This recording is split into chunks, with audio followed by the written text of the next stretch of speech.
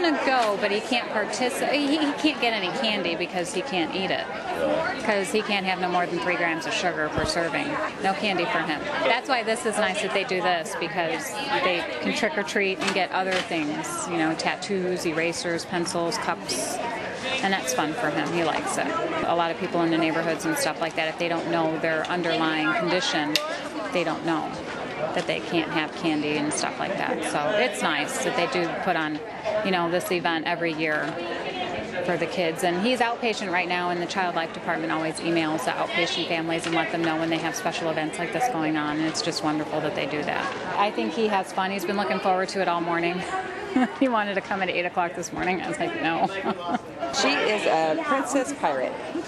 This is probably the first year she would get to go, and she didn't get to go. So this is a lot better than trying to go out and run around in the neighborhoods and everything and get candy that she would need anyhow. She's a little shocked. I think uh, too many people.